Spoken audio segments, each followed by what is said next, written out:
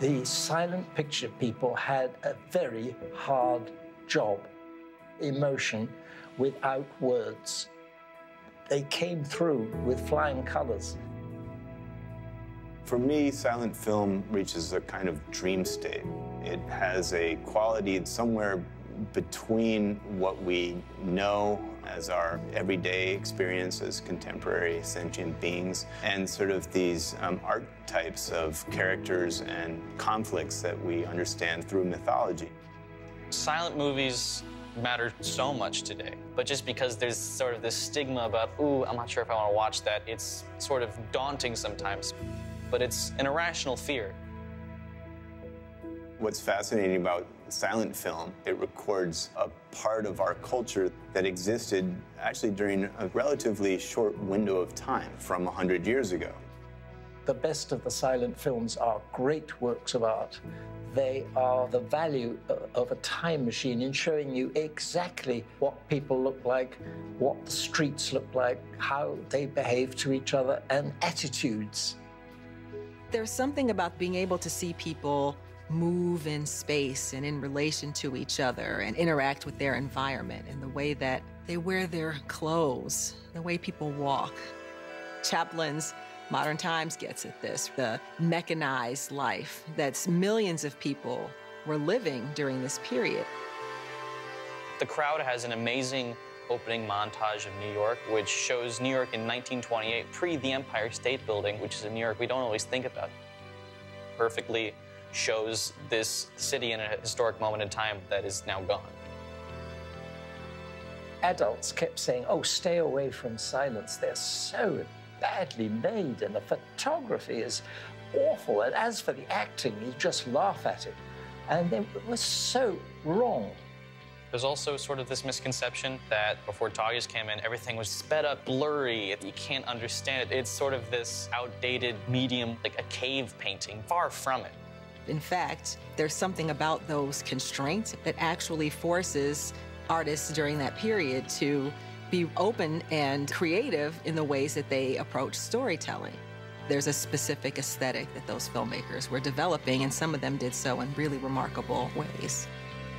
Silent film performance, there's a spectrum of types of performance. There's certainly dramatic performance, conveying emotion and not having the capacity to use one's voice means that you have to go to a different set of tools gesture and facial expression. I love Greta Garbo. She is a genius when it comes to the use of her face and understanding where the camera is and how the lighting is working. She's a figure that really helps us to understand, especially where female performers are concerned, that actors are not simply objects that the directors are kind of molding, but instead they are co creators of their image. There's that remarkable scene in Flesh and the Devil where uh, she's seducing John Gilbert in the garden, and just every movement of her eyelashes and her mouth and the way she's lit is so carefully crafted. The eyes can say way more than words, and when you don't have words, the eyes hold it all, and that can go right to the soul. And I feel like a lot of talkies, even films now, they miss that very important element, but the silent films mastered almost every time.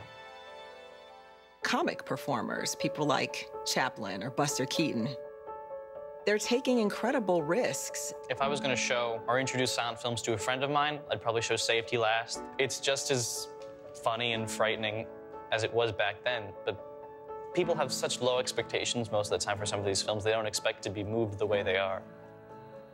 The Buster Keaton films are, are spectacular, and that was just a, a master at work. I remember seeing one week in particular in which the newlyweds house is spinning around and around. And there was a kid who was in the front row, and he started laughing and he started laughing so hard and so hysterically that everyone started looking at the kid who was really just engaged with the film. It had hit him at such a visceral level. It was such an inspiring vision. F.W. Murnau's film Sunrise. It's a spectacular film in so many ways, and I think it breaks a lot of our assumptions about what silent filmmaking is about. There are very few intertitles in that film the story, the acting, really carries the film. Extended sequences. Murnau, King Vidor, they were doing for the eyes what Beatles were doing in the 60s for the ears. Totally just like, how did they do that? And it's just extraordinarily beautiful. King Vidor was the first silent film director I ever met. He was very self deprecating, but tremendous confidence.